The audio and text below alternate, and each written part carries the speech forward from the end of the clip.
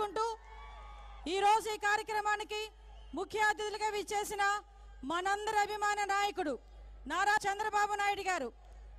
నాలుగున్నర సంవత్సరాలకి ముందు ఈ రాష్ట్రాన్ని నెత్తిన పెట్టుకొని ఈ రాష్ట్రాన్ని పదహారు వేల కోట్ల లోటు బడ్జెట్లో కూడా ఎక్కడా కూడా ఎవరికి ఎటువంటి కష్టం రాకుండా చూసుకున్న ఆ మహానుభావుడు నాలుగున్నర సంవత్సరాలకి ముందు జస్ట్ ఒక్కసారి చూసుకుంటే ఎన్నో అవమానాలు పడి అక్రమ కేసులు ఎదుర్కొని జైల్లోకి వెళ్ళినప్పటికీ కూడా ఎక్కడా మొక్కవని ధైర్యంతో ఈ రోజు ఈ తెలుగుదేశం పార్టీని నిలబెట్టాలి అనే తపనతో మనందరి ముందుకు రాబోతున్న వ్యక్తి మన జాతీయ పార్టీ అధ్యక్షుడు నారా చంద్రబాబు నాయుడు గారికి మీ అందరి తరపున ప్రత్యేకంగా ధన్యవాదాలు నమస్కారాలు తెలియజేసుకుంటూ ఈ రోజు ఈ కార్యక్రమానికి ముఖ్య అతిథులుగా విచ్చేసిన పెద్దలు గౌరవనీయులు అయ్యన్న పాత్రి గారికి బండా దక్షిణామూర్తి గారికి పప్పల చలపతిరావు గారికి దాడి రుద్రరావు గారికి అదేవిధంగా అధ్యక్షులు నాగ జగదీష్ గారికి పంచకల రమేష్ బాబు గారికి అదేవిధంగా వేదికను అలంకరించిన తెలుగుదేశం పార్టీ మహామహులకి అదేవిధంగా జనసేన పార్టీ నాయకులందరికీ కూడా పేరు పేరున ధన్యవాదాలు నమస్కారాలు తెలియజేసుకుంటూ ఈరోజు రా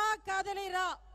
ఈ ఒక్క కార్యక్రమం చూస్తా ఉంటే అలనాడు ఎప్పుడు ఎన్టీ రామారావు గారు పార్టీ పెట్టేటప్పుడు పిలిచిన ఒక పిలుపు ఆ రోజు ప్రపంచం సృష్టించింది. అదే ప్రపంచం మళ్ళా తిరిగి రాయాలంటే ఈ సైకో పరిపాలన నుంచి తరిమి కొట్టాలి అంటే ఈ సైకో పరిపాలన నుంచి రాష్ట్రాన్ని కాపాడుకోవాలి అంటే మన యువత భవిష్యత్తుకి రావాలి అంటే మన అందరికీ ఒకే ఒక నినాదం వినిపించే పరిస్థితి. అదే రా కదలి రా. ఈరోజు ఈ కార్యక్రమానికి ఇక్కడికి మనందరం కూడా విచ్చేస్తున్నాం. ఈరోజు ఒక విషయం మీ అందరికీ చెప్పాలి.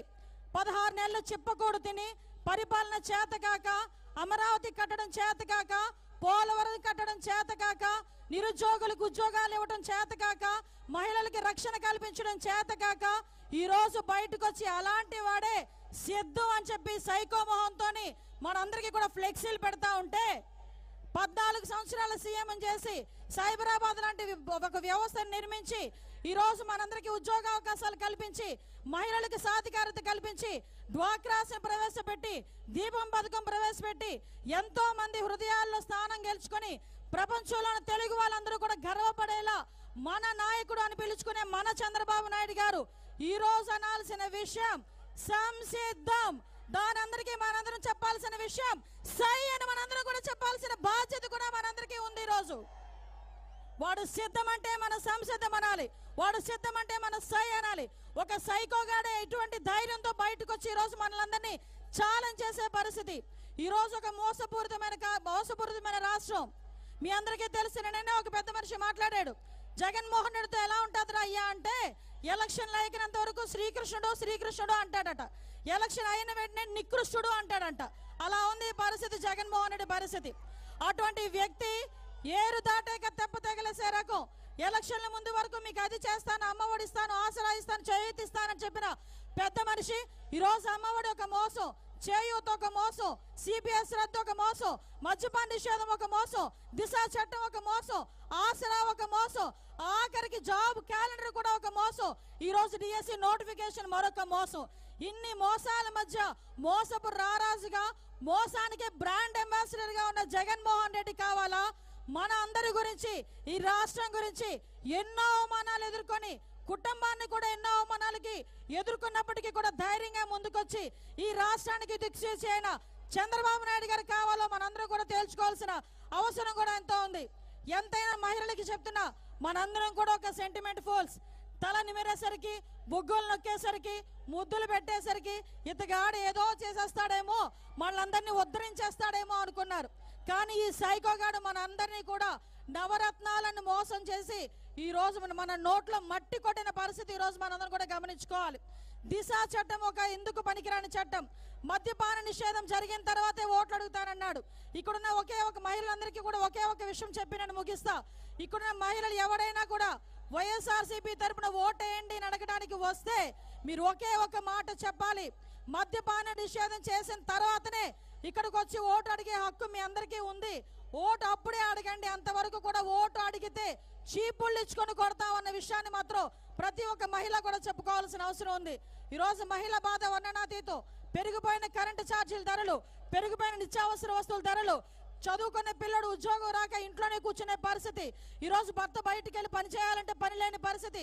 ఈ రోజు బతుకు బతకాలంటేనే విపరీతమైన భయపడే పరిస్థితి నుంచి ఈ రోజు మన రాష్ట్రాన్ని మనం రక్షించుకోవాలన్నా మన పిల్లల భవిష్యత్తు గురించి ఆలోచించాలన్నా మహిళల రక్షణగా ఉండాలన్నా ఒకే ఒక నినాదం అదే జై చంద్రబాబు నాయుడు గారు జై తెలుగుదేశం జై జనసేన.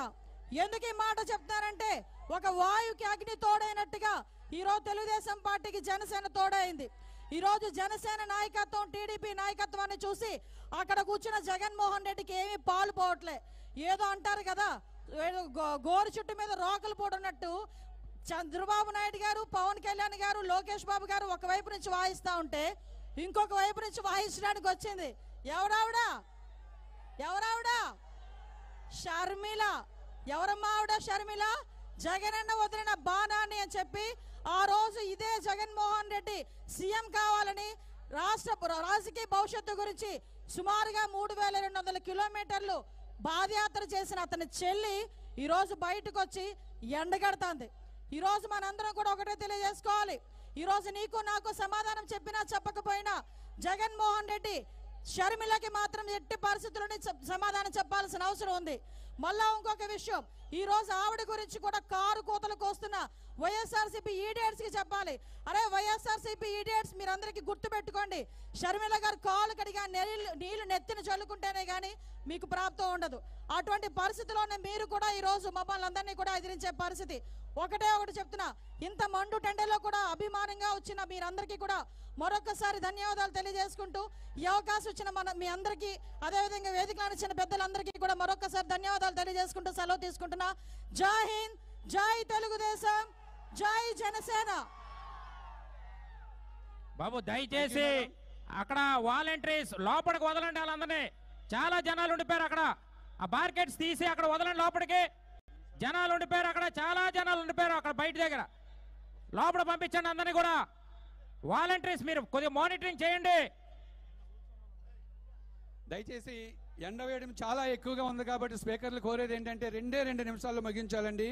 ఇప్పుడు మన ఎలమంచిలి జనసేన ఇన్ఛార్జ్ సుందర విజయ్ కుమార్ గారిని మాట్లాడాల్సిందిగా కోరుతున్నాం.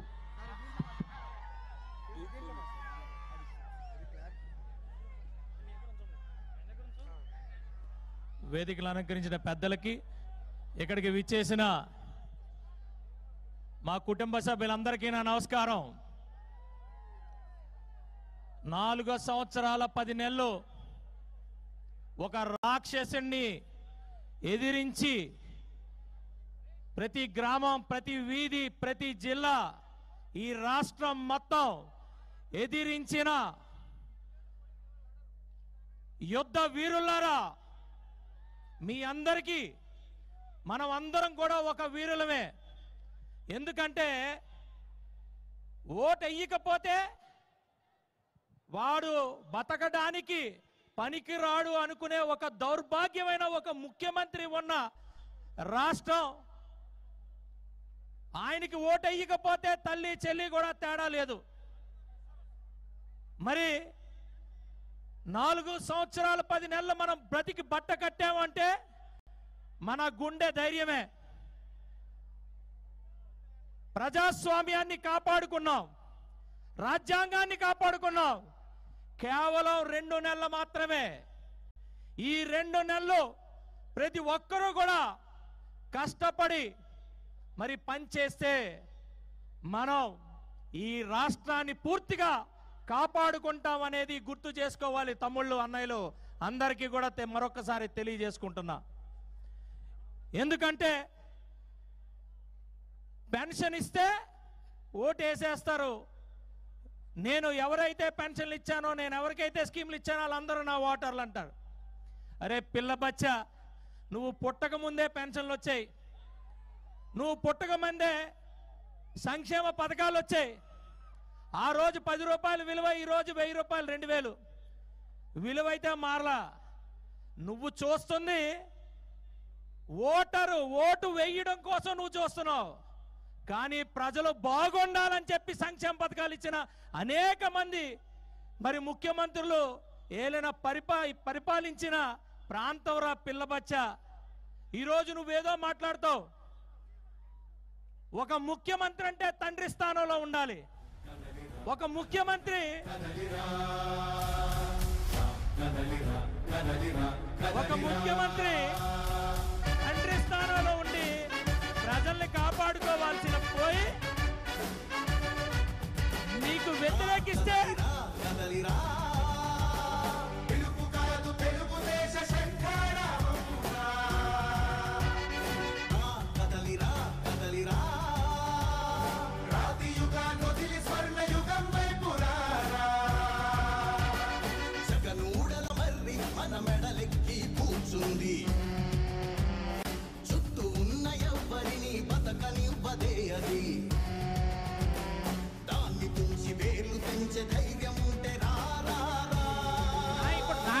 కూర్చోబెట్ట నాయకుడా. ఆకలికి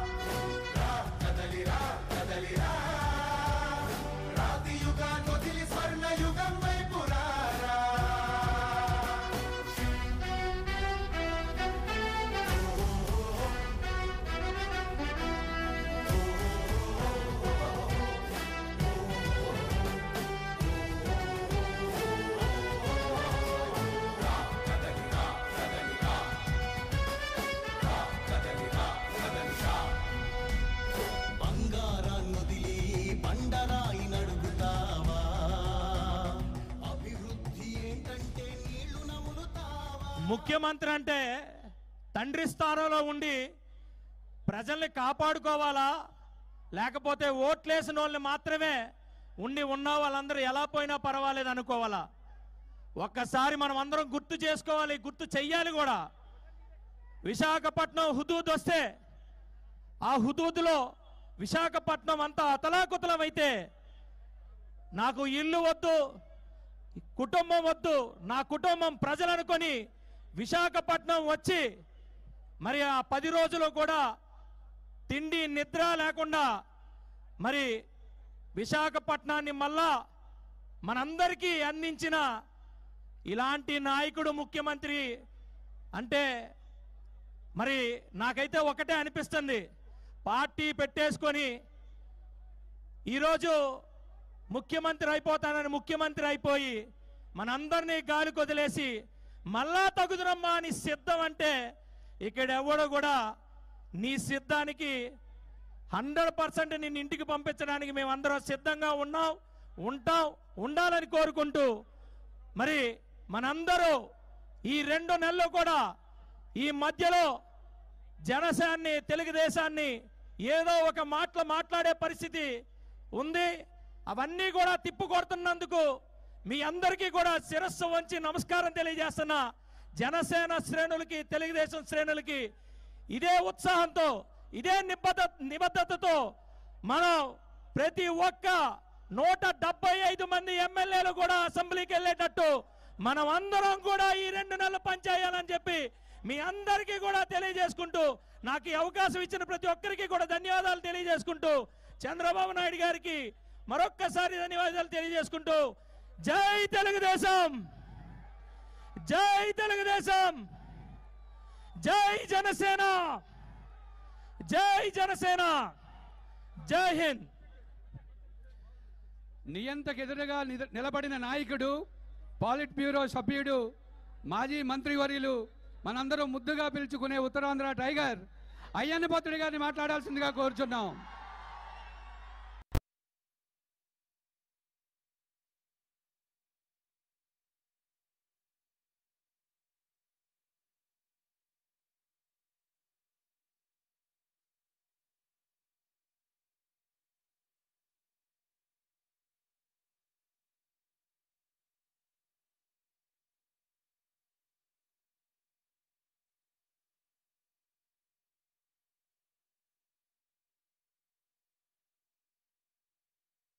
ఏదో చేసేస్తాడేమో మనందరినీ ఉద్ధరించేస్తాడేమో అనుకున్నారు.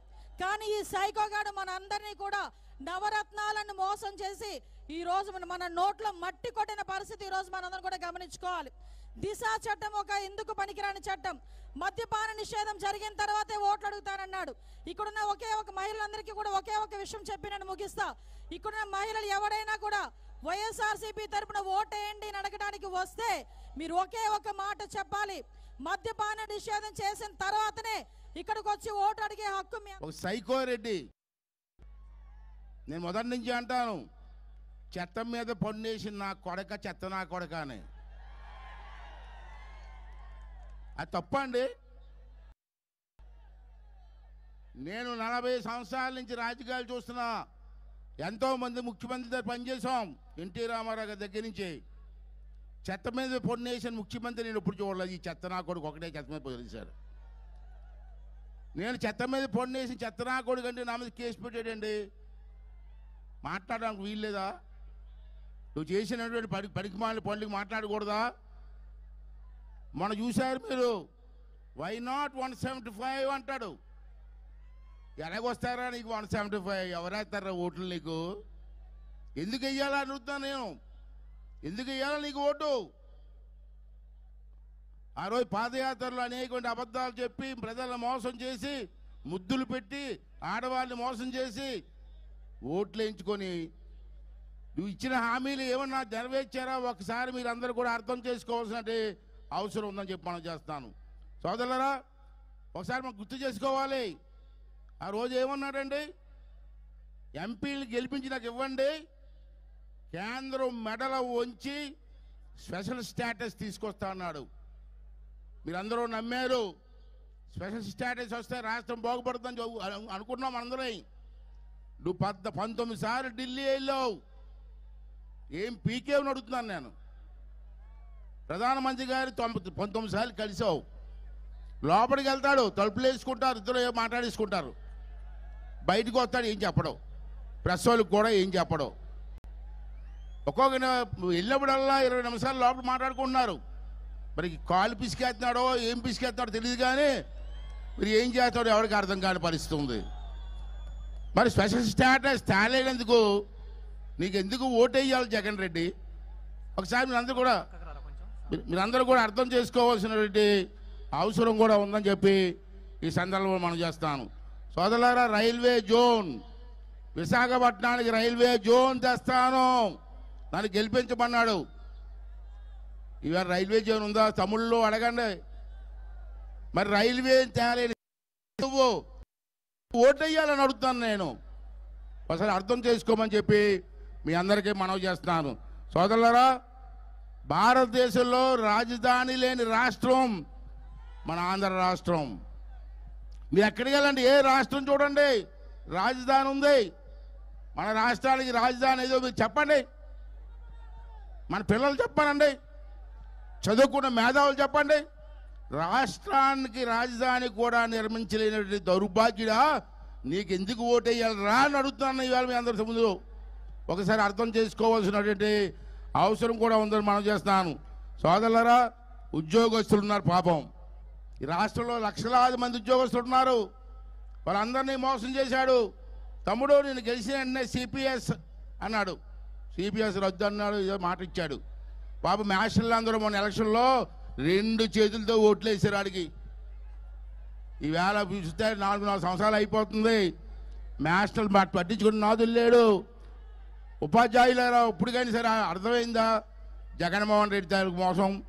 అంతే వచ్చి ఎలక్షన్లో రెండు చేతులతో నాలుగేసి ఓట్లేసి మళ్ళీ తెలుగుదేశం పార్టీని జనసేన పార్టీని గెలిపించమని చెప్పి ఉపాధ్యాయ సోదరులందరికీ కూడా నేను మనవి చేస్తానండి అంతేకాకుండా సోదరులరా ఉద్యోగస్తులు మన పిల్లలు చదువుకున్నారు. చంద్రబాబు గారి టైంలో ఇంజనీరింగ్ కాలేజీలు అనేక కాలేజీలు పెట్టాం. మన పిల్లలు బ్రహ్మాండం చదువుకున్నారు. చదువుకున్న పిల్లలు ఇవాళ బెంగళూరులో కానీ చెన్నైలో కానీ విదేశాల్లో కానీ బ్రహ్మాండంగా ఉద్యోగాలు చేస్తున్నారు. నువ్వు ఒకటికైనా ఉద్యోగం ఇచ్చావా జగన్మోహన్ రెడ్డి?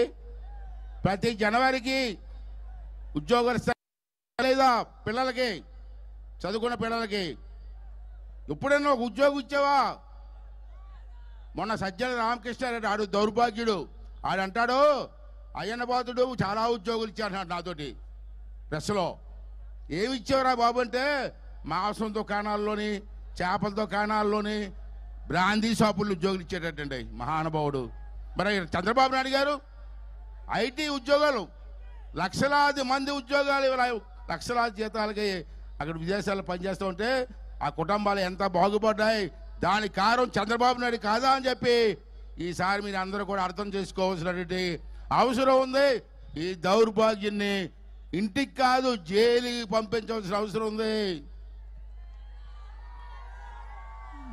మీ అందరి తరపున చంద్రబాబు గారు కోరుకుంటున్నాను సార్ మిమ్మల్ని. మీరు మీ మంచితనం అతి మంచితనం అయిపోయింది సార్ మీది. ఆడు చూ- ఆడు చూడండి ఎలా పరిపాలన చేశాడు. దౌర్భాగ్య నా కొడుకు ఎంతమందిని అరెస్ట్ చేశాడు. ఎంతమందిని చంపాడు. నా ఎస్సీలు నా బీసీలు నా ఎస్టీలు అంటాడు. అంటావు నువ్వు? ఎంతమంది బీసీలు చంపేశావు నువ్వు? ఎంతమంది ఎస్సీలు చంపేశావు? ఎంతమంది ఎస్టీలు వాళ్ళకి న్యాయ అన్యాయం చేసావో మరి ఒకసారి అర్థం చేసుకోవాల్సినటువంటి అవసరం ఉందని చెప్పి సందర్భంలో మీ అందరికీ మనం చేస్తాను. సోదరులారా అధికారంలోకి వస్తే రెండు లక్షల ముప్పై వేల ఉద్యోగాలు భర్తీ చేస్తారు మాట ఇచ్చావు. ఏమే ఉద్యోగాలు? ఎక్కడ ఇచ్చావా? అంతేకాదు కానీ పోలీసులారు మీరు కూడా వినాలి పోలీసులు కూడా మారాలి మీరు మారాలా? తప్పదు. ప్రభుత్వం మారుతుంది. ఆపలేరు ఎవరు ఆపలేరు? జన సమూహం ముందు ఉంది. అంటే పోలీసులు మారండి. ప్రభుత్వానికి రాబోయే ప్రభుత్వాన్ని సహకరించండి. మీకు కూడా మోసం చేశాడయ్యా. మీరు దాచుకున్న డబ్బులన్నీ తెప్పించాడు తెలుసా మీకు? మీ పోలీసులు దాచుకొని డబ్బులన్నీ తెప్పించాడు మీకు తెలుసా అని అడుగుతున్నాను నేను.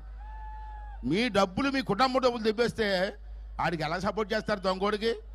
దొంగోడికి సపోర్ట్ చేస్తారా? ముఖ్యమంత్రి కావచ్చు దొంగోడు. సోదరులారా ఒక మాట చెప్తాను ఇవాళ నేను మొన్న వెస్ట్ గోదావరిలో ఇలాగ మీటింగ్లు అన్నాను. జగన్మోహన్ రెడ్డి ఫోర్ ట్వంటీ నా కొడుకు అన్నాను. అంటే నాకు కౌంటర్ ఇచ్చారు. ముఖ్యమంత్రిని వాడవరా ఫోర్ ట్వంటీ అంటావని. నేను అనలేదు.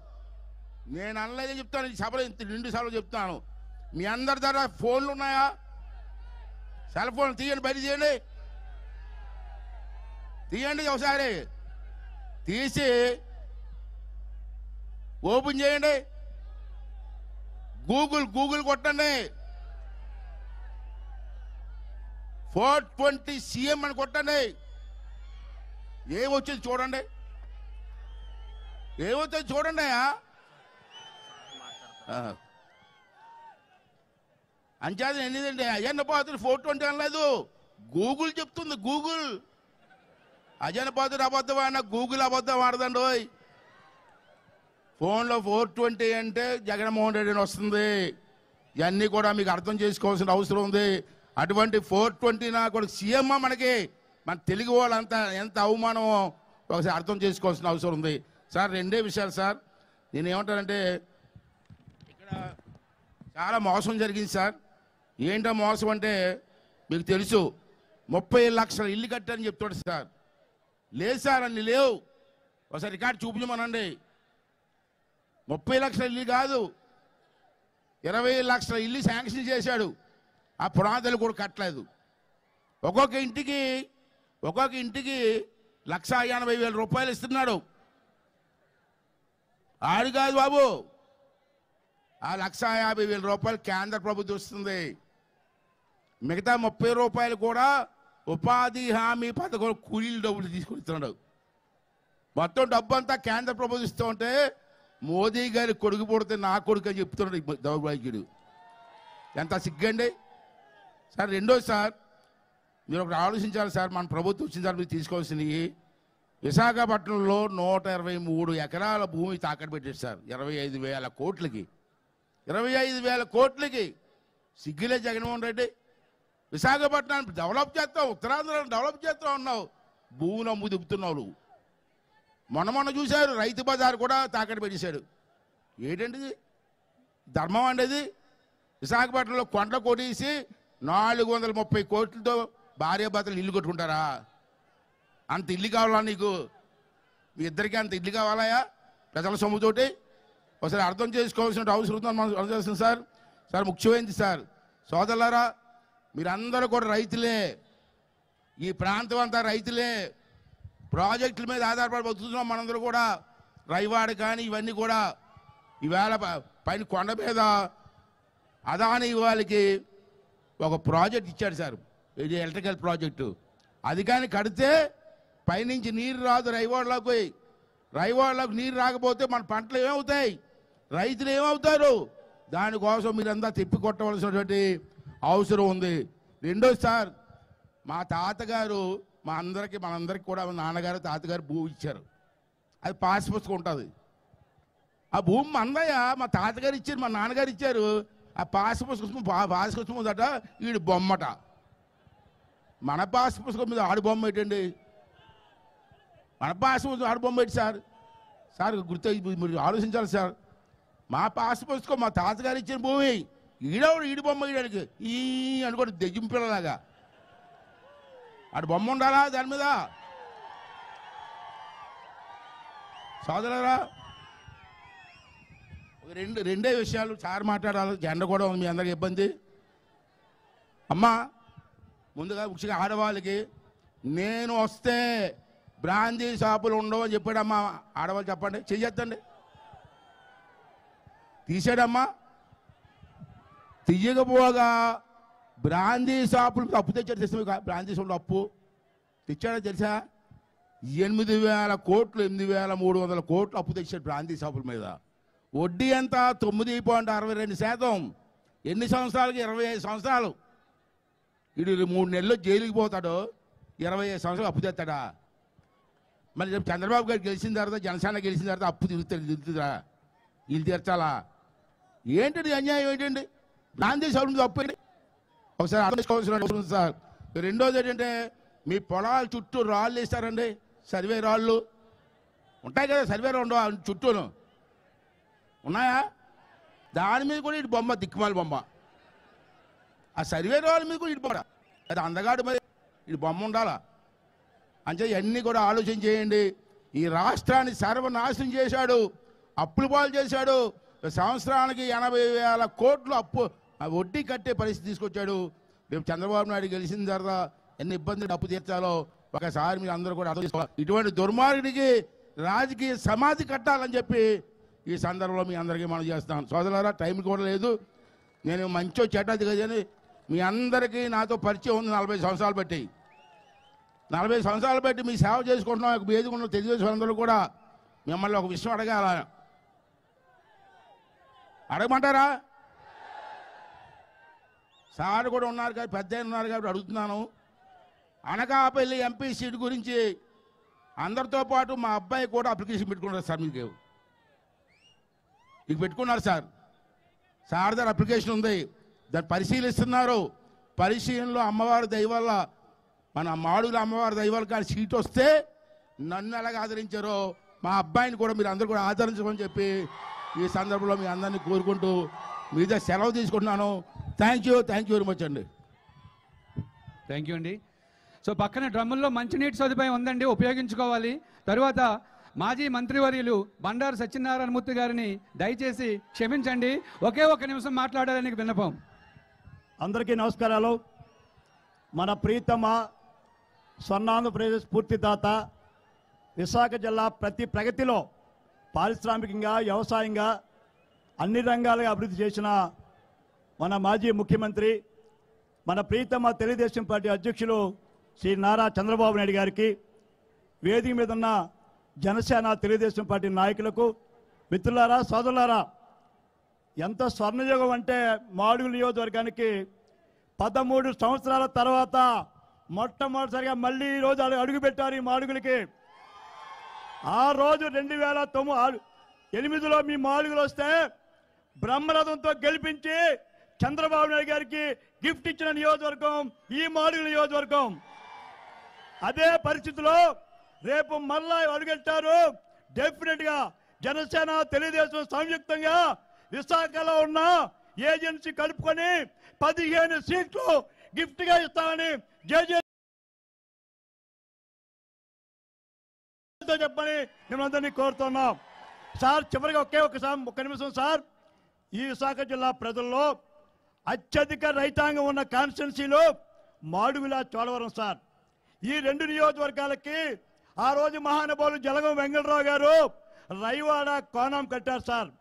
తర్వాత మీ టైంలో పెద్దారు తాచారు గొర్రెగడ్డ ఎర్రిగడ్డ మీ టైంలో పూర్తయింది సార్. కానీ ఇవన్నీ మనం మేము బస్ యాత్రలో చూసాం. కాలువల పుడికిలు లేవు సార్. రైతాంగానికి నీళ్ళు లేదు సార్. రేపు మీ టైంలో జనసేన తెలుగుదేశం సంయుక్తంలో మీ నాయకత్వంలో రేపు పోలవరం పూర్తయిన తర్వాత సార్ మాకు రైవాడ ఓటరు. ఆరు వేల ఎకరాలు ఎడిషన్ లాయక డెవలప్ చేయవలసింది సార్. సార్ దయవుంచది విశాఖపట్నం వాటర్ ఇస్తున్నాం.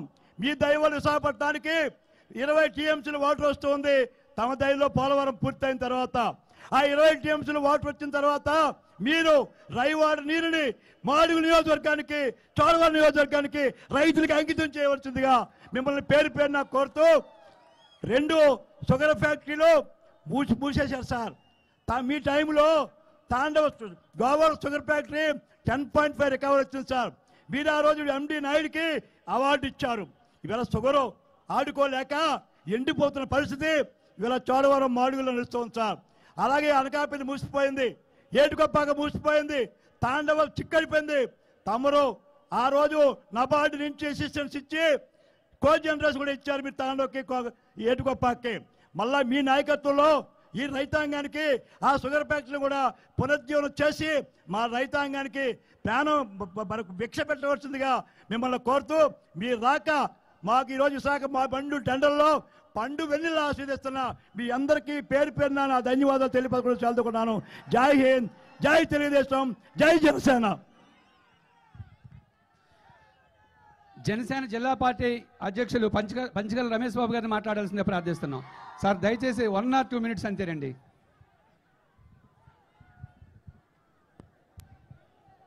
పెద్దలు పూజ్యులు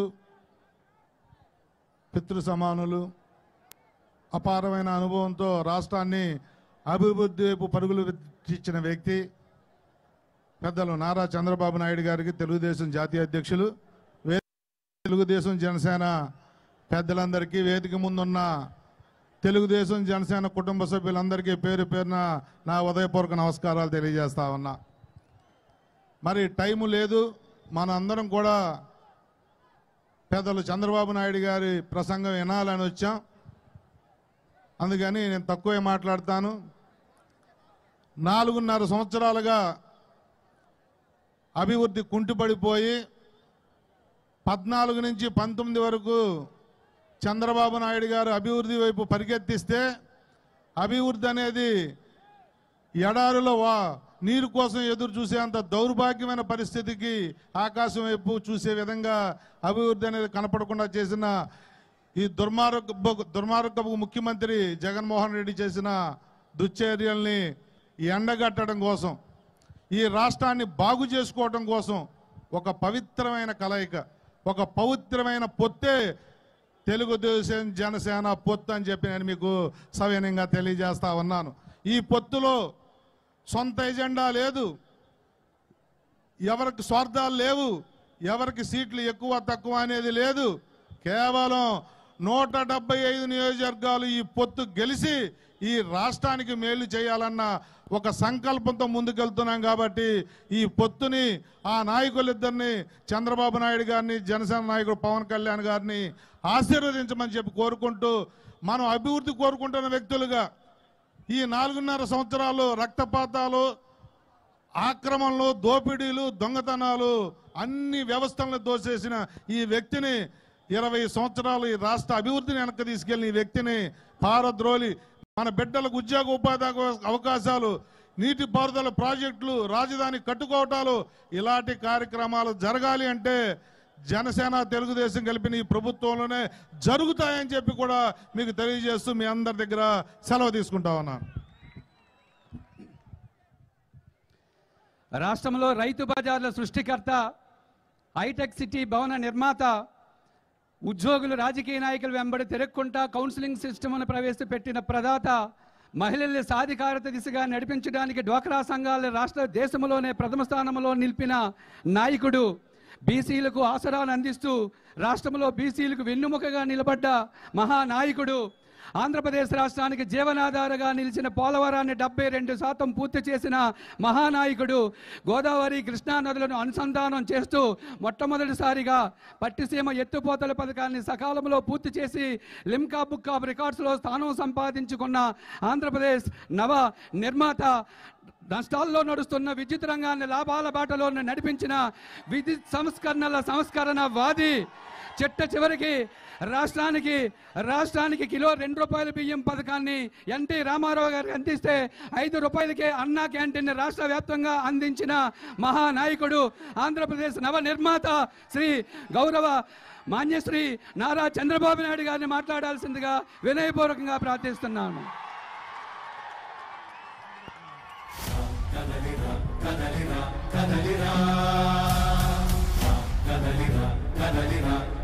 రా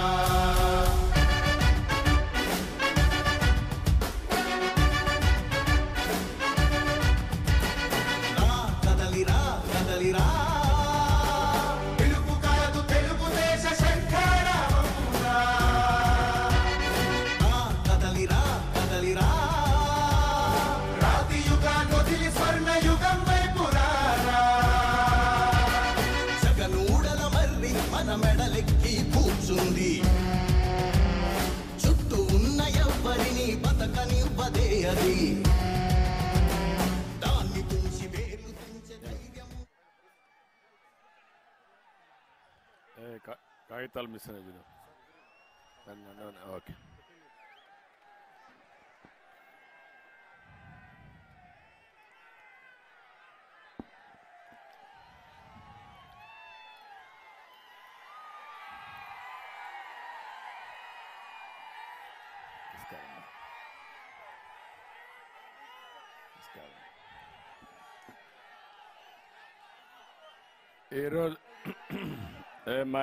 ఓకే.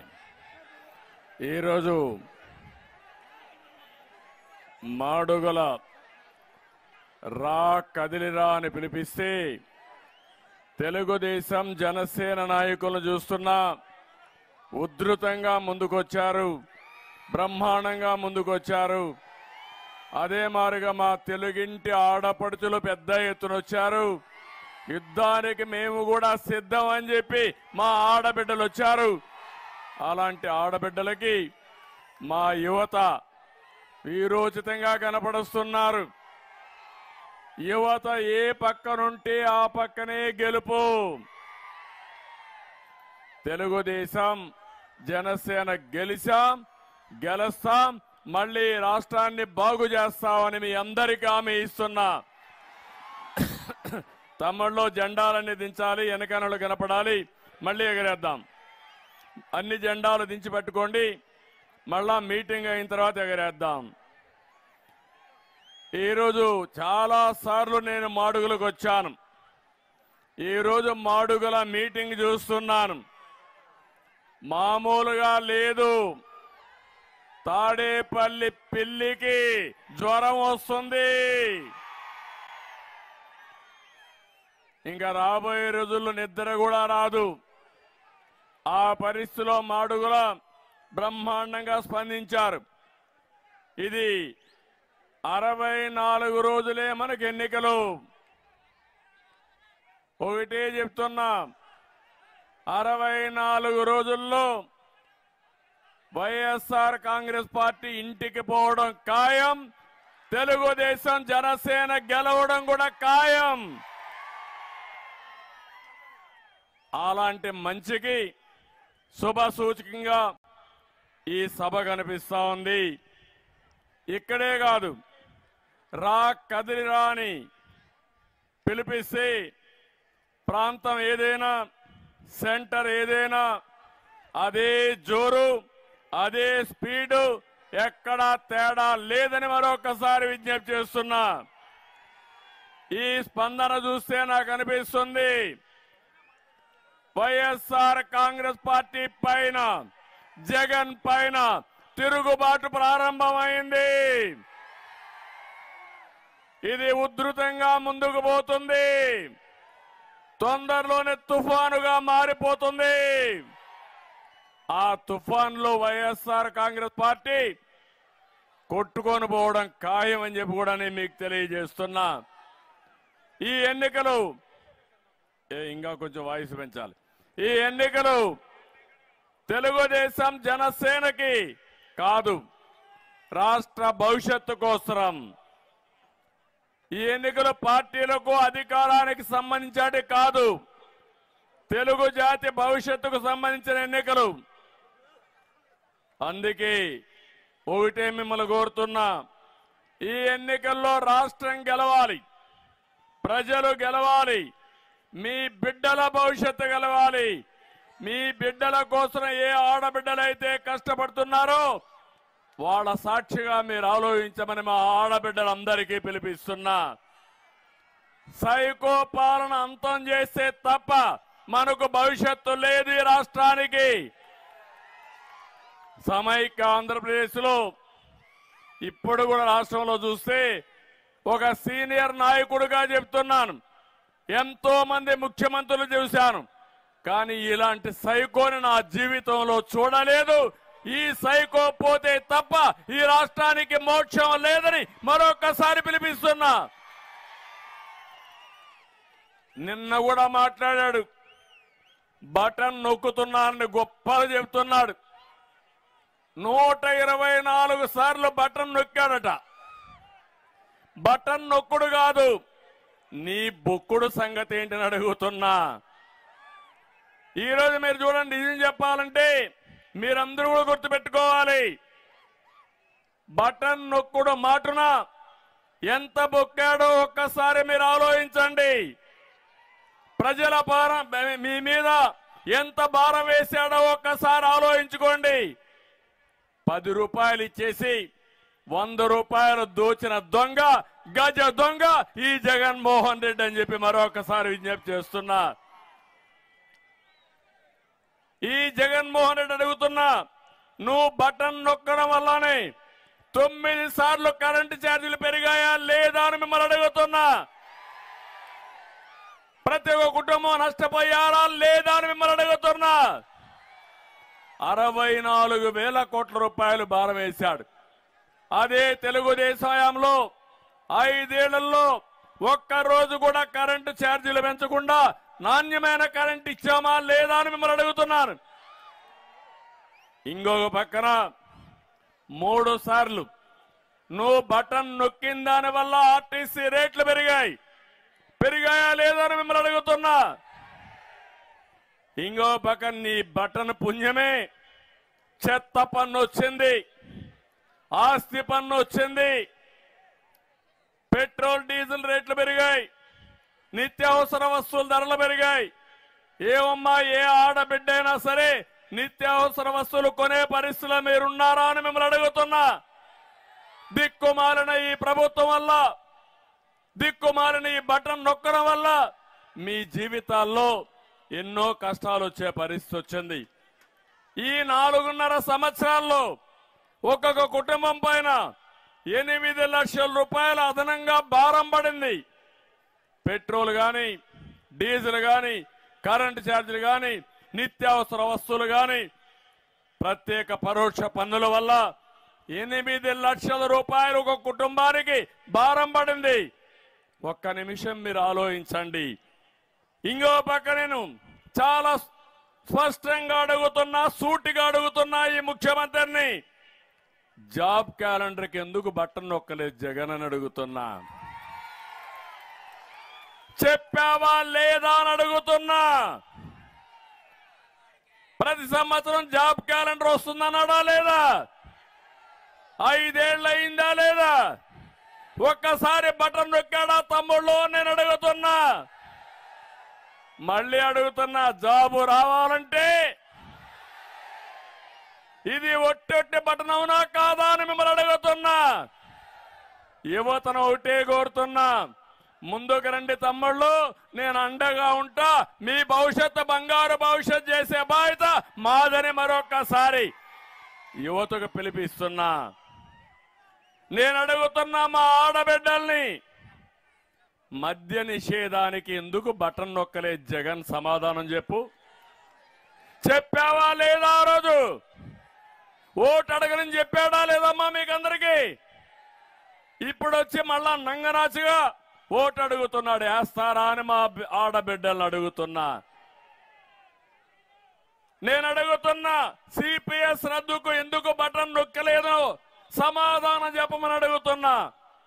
ఎంత మాట్లాడాడంటే అందరి నెత్తిన చేయిబెట్టి బుగ్గలు నిమిరి ఆ రోజు చెప్పింది అది ఎంత పని? వారం రోజులు. సిపిఎస్ రద్దు చేస్తా అన్నాడు. ఎన్ని వారాలైంది? కడపటికి చివరి వారం వస్తుంది తొందరనే పోయే వారం. ఇంటికి పోతాడు. అలాంటి నువ్వు ఏం చేసావని అడుగుతున్నా. గుంటల పడిన బాగు కోసం ఒక్కసారైనా బటన్ నొక్కాడా అని మిమ్మల్ని అడుగుతున్నా. మీ రోడ్డు మీద వచ్చారు. ఎక్కడ చూసినా గుంతలే కదా అని మిమ్మల్ని అడుగుతున్నా. రోడ్లు బాగా లేవంటే చేలిచే పైకి చూపించండి. గట్టిగా చప్పట్లు కొట్టి నిరసన తెలియజేయండి. రైతుల ఆత్మహత్యల నివారణ కోసం ఒక్కసారి బటన్ నొక్కలేదే. ఎంతమంది చనిపోయారు? రోజుకు నలుగురు ఐదు మంది చనిపోతున్నారు. బలవంతపు మరణాలు చేసుకుంటున్నారు. రైతు బతుకు చితికిపోయింది. అలాంటి రైతుల కోసం ఎప్పుడు బటన్ నొక్కే పరిస్థితిలో లేడు. డిఎస్సి కోసం బటన్ నొక్కాడా తమ్ముళ్ళు అని అడుగుతున్నా. నొక్కతాడా అని మిమ్మల్ని అడుగుతున్నా. ఇప్పుడు మాట్లాడుతున్న మెగా డిఎస్సి అంట. ఎవడికి చెప్తాం మళ్ళా ఉద్యోగం రావాలంటే తెలుగుదేశం రావాలి జనసేన రావాలి. అప్పుడే యువతకు ఉద్యోగాలు వస్తాయి. కానీ బటన్లు కొన్నాట్లు నొక్కాడు. మైనింగ్ బట్ బటన్ నొక్కాడు. భూగర్భ సంపద మొత్తం దోచేశాడు.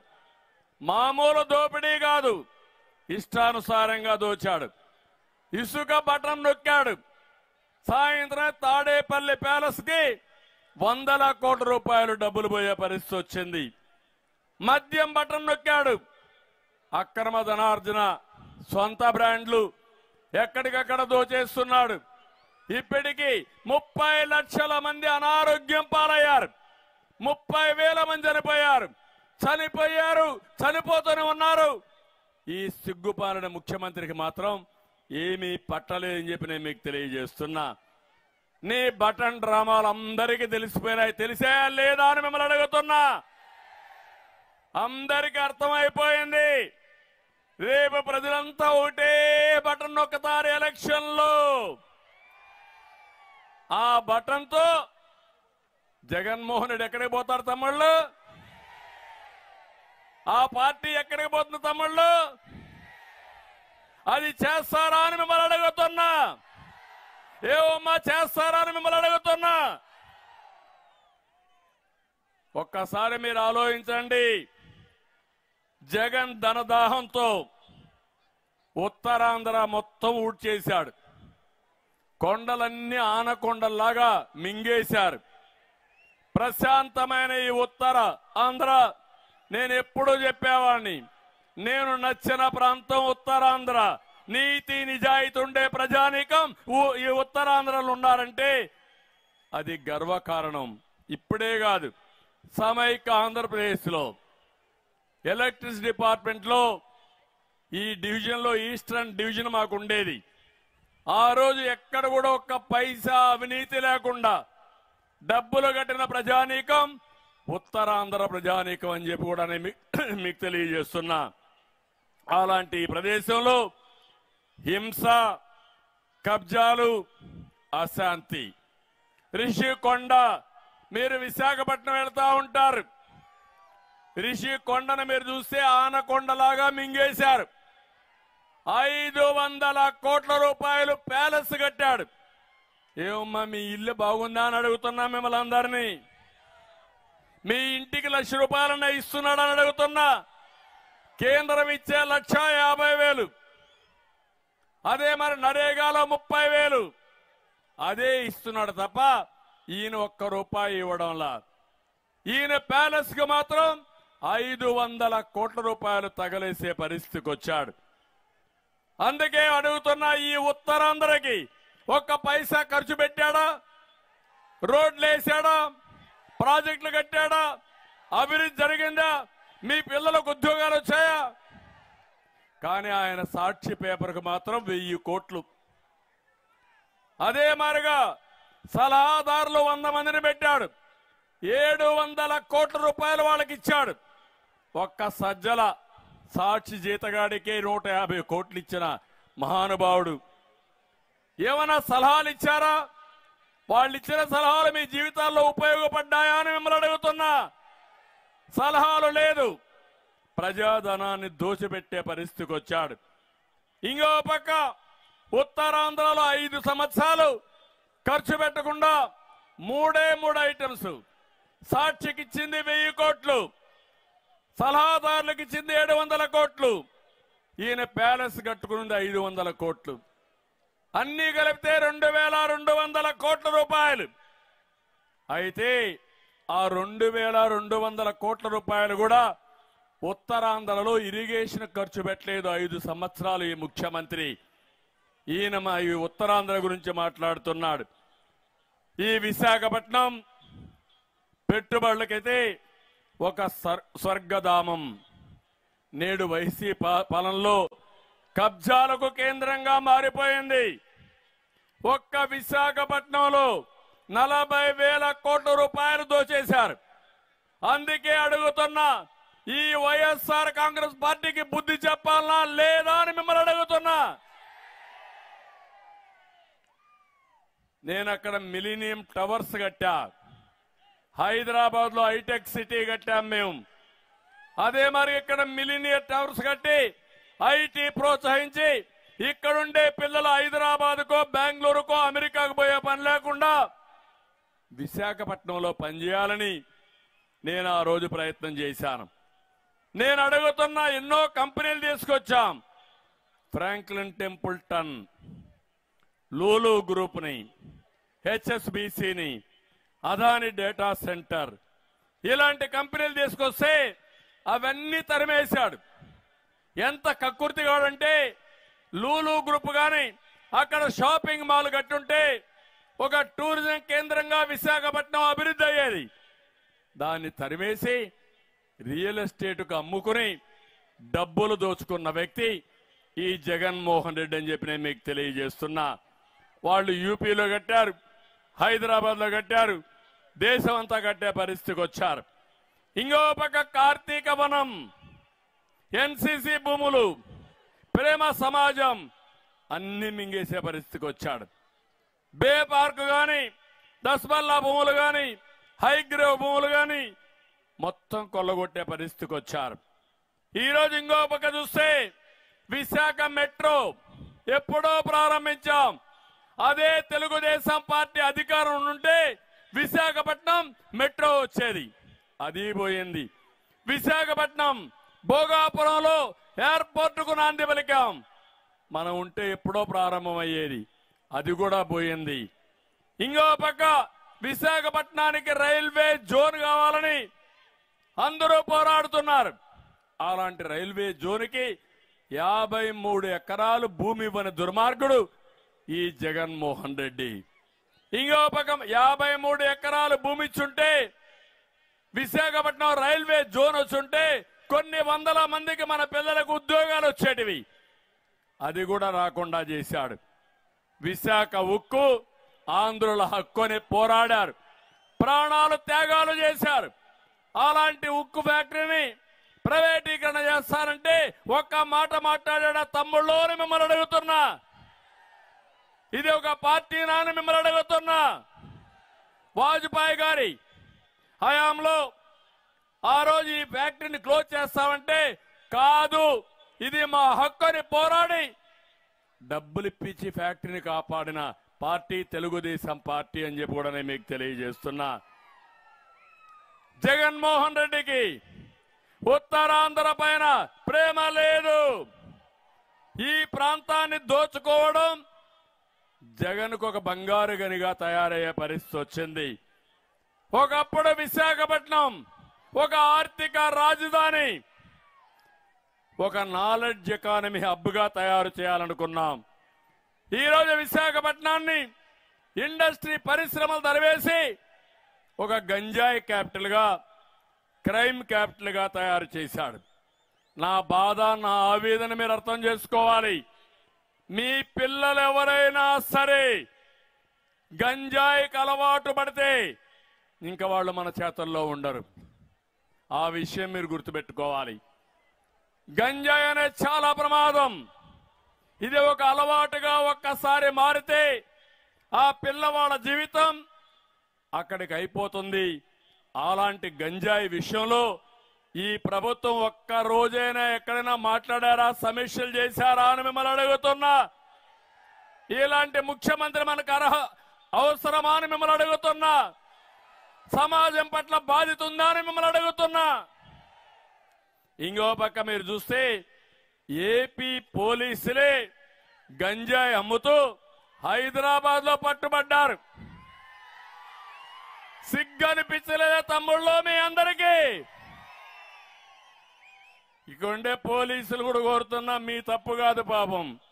మీ దగ్గర లేనిపోని తప్పులు చేపించే సైకో తప్పిది. ఇంకో పక్క నిన్నే చూశారు ఎంపీ. ఆయనకు కూడా సిగ్గు లేదు.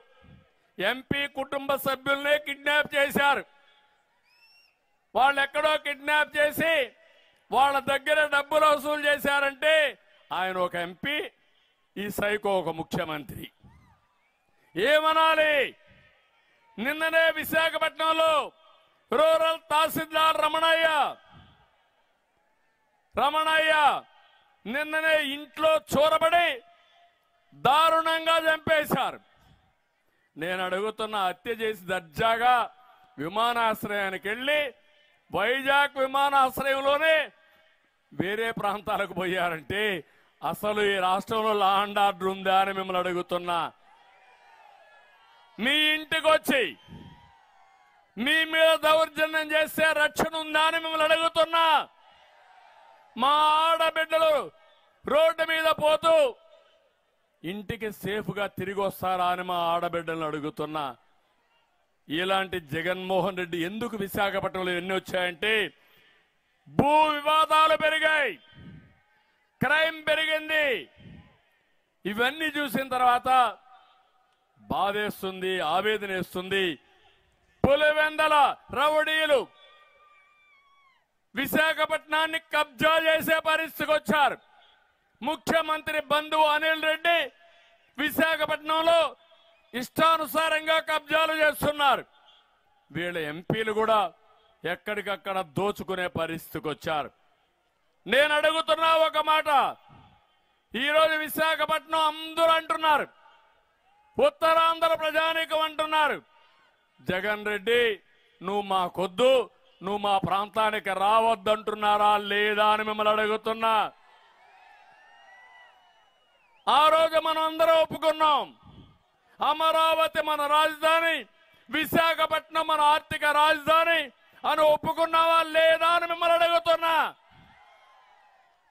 ఇప్పుడు మూడు ముక్కలాట మూడు రాజధానులాట అసలు రాజధాని లేకుండా చేసి ఐదు సంవత్సరాలు ఒక చరిత్రహీనుడిగా మిగిలిపోయే పరిస్థితికి వచ్చాడు. ఈయన వస్తున్నాడంటే అందరూ భయపడిపోయే పరిస్థితికి వచ్చారు. ఇంత దుర్మార్గమైన ముఖ్యమంత్రిని నేను ఎక్కడా చూడలేదు. ఇప్పుడు ఒకసారి చూస్తే నేను ఒకటే మిమ్మల్ని అందరినీ కోరుతున్నా. మూడు ప్రాంతాల ప్రజలు ఆలోచించాలి. వచ్చే ఎన్నికల్లో ఫ్యాన్కు ఎన్ని రెక్కలు ఉన్నాయి తమ్ముళ్ళు? ఎన్ని రెక్కలు? మూడు రెక్కలు ఉన్నాయి. ఉత్తరాంధ్ర మీకు విజ్ఞప్తి చేస్తున్నా విధ్వంసం చేసి వైసీపీ రెక్కని చిత్తు చిత్తుగా ముక్కలు చేస్తామని గట్టిగా చెప్పండి. బాధుడే బాధుడని రెక్కని పీకేయడానికి కోస్తా ప్రజలు సిద్ధంగా ఉన్నారు. హింస దోపిడీ రెక్కని తుక్కు తుక్కు చేయడానికి సీమ ప్రజానికం సిద్ధంగా ఉన్నారు. మొండు ఫ్యాన్ని జగన్ చేతికిచ్చి ఐదేళ్ళు పాలనకి రిటర్న్ గిఫ్ట్గా ఇచ్చి శాశ్వతంగా పార్టీని బంగాళాఖాతంలో కలుపుతామని అందరం కూడా శపథం చేయాల్సిన సమయం ఆసన్నమైంది. నిన్న మొన్న చూస్తున్నా సామాజిక న్యాయం కోసమే పుట్టాడంట జగన్. ఇంకో పక్క మీరు చూస్తే ఈ సామాజిక న్యాయానికి ప్రతినిధులు ఎవరంటే విజయసాయి రెడ్డి వైవి సుబ్బారెడ్డి సజ్జల రెడ్డి పెద్దిరెడ్డి. ఈ నలుగురు వీడ పత్తనం కింద ఈ బడుగు బలహీన వర్గాలు బలైపోయే పరిస్థితి వచ్చింది. నేను అడుగుతున్నా ఉత్తరాంధ్రలో ఇక్కడ నాయకులు లేరా అని మిమ్మల్ని అడుగుతున్నా వీళ్ళ పెత్తనం ఏంటని అడుగుతున్నా. నేనున్నప్పుడు చేసింది ఇక్కడుండే ప్రజానీకం వాళ్ళే పెత్తనం చేశారు. ఇక్కడ అయ్యన్న పాత్రుడు గారు లేకపోతే సత్యనారాయణ మూర్తి వీళ్ళు పెత్తనం చేశారు తప్ప బయట వాళ్ళు కాదు. మళ్ళీ మీకే పెత్తనం ఇస్తాం. ఉత్తరాంధ్ర ప్రజలు సమర్థులని మరొక్కసారి మీ అందరికి విజ్ఞప్తి చేస్తున్నా. ఈరోజు ఒకటే మిమ్మల్ని అందరినీ కోరుతున్నా. ఇక్కడ నాయకులందరం ఉన్నాం. మేము బాధితులే మీరు బాధితులే. నేను కూడా అందులో బాధితుడినే. ఈరోజు అయ్యన్న పాత్రుడు సీనియర్ నాయకుడు. కడాన ఆయనపై నిర్భయ కేసే పెట్టేశారు. Attempt rape.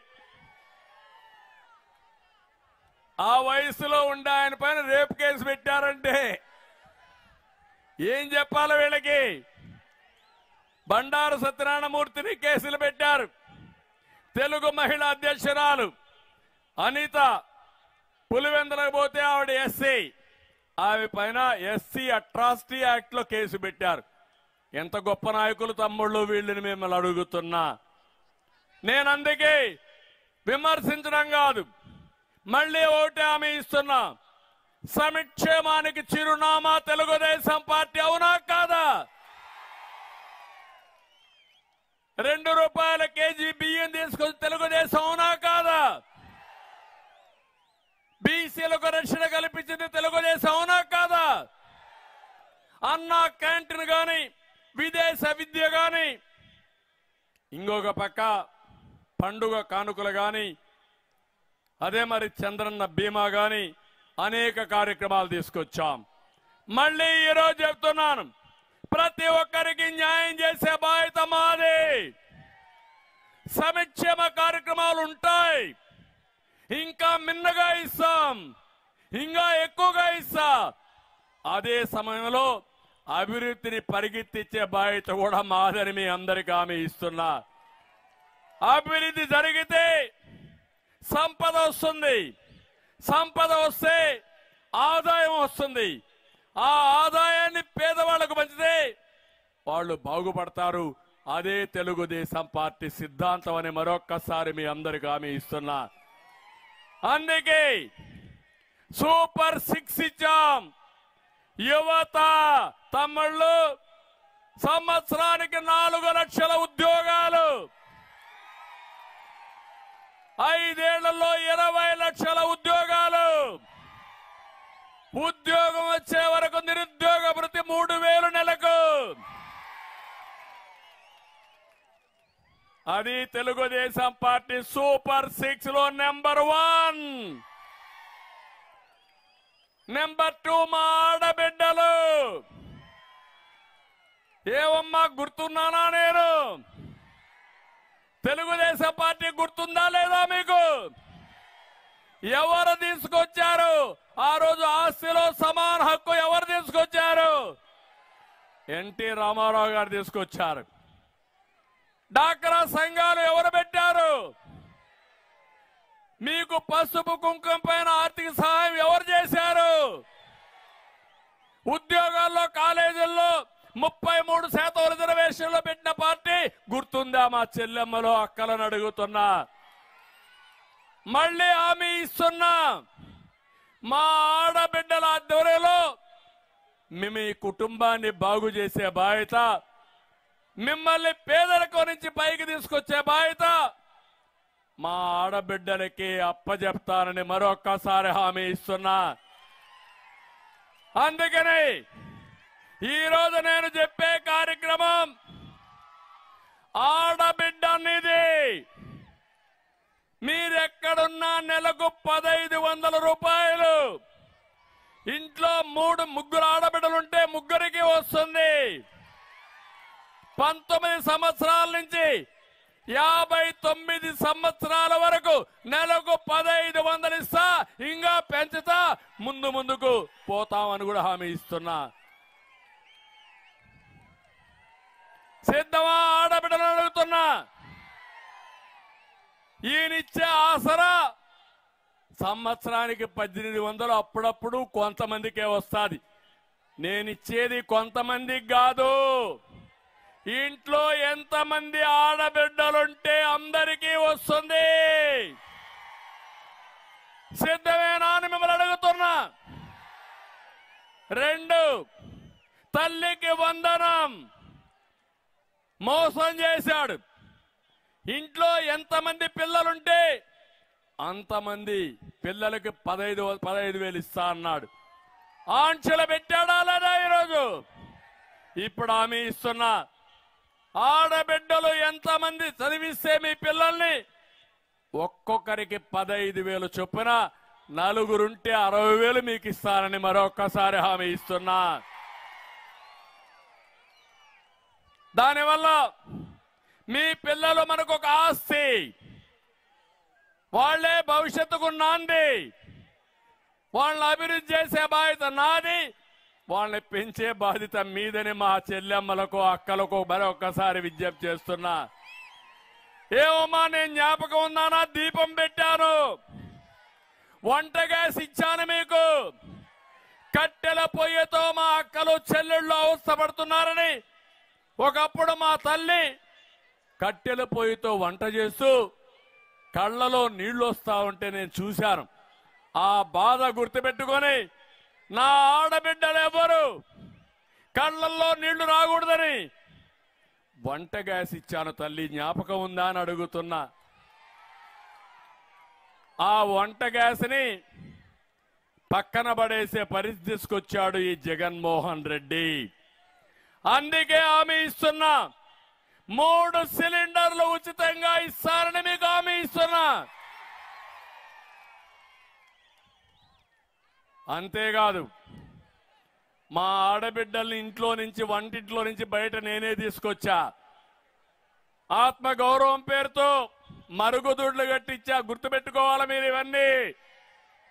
రోడ్డు పక్కన పొలాల్లో మరుగుదొడ్డుకు పోయేవాళ్ళు అవమాన పాలయ్యేవాళ్ళు తెల్లవారితో చీకట్లోనే మరుగుదొడ్డుకి పోయి తర్వాత పోవాలంటే అవమానంతో ఎక్కడికక్కడ బాధపడేవారు.